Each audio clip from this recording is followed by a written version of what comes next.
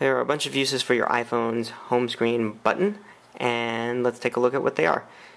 First off, if you're on the first page of your home screen, you can just click it once and it will go over to the search page. Click it again, it will go right back. If you're on the second page or third page or fourth page, or however many pages you have, as long as you're not on the first, you can click it, it'll go back to the first.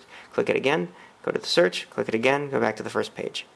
If you double click it, it'll bring up multitasking in iOS 4 or higher, and then you can swipe to the left, or I guess to the right technically, to get your iPod controls.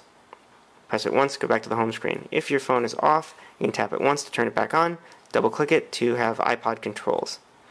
Lastly, there's one more thing you can do with your iPhone's home button. If you go into the settings app and go to general, and then go to accessibility, and then lastly, the triple click home features, you can toggle some of your accessibility settings.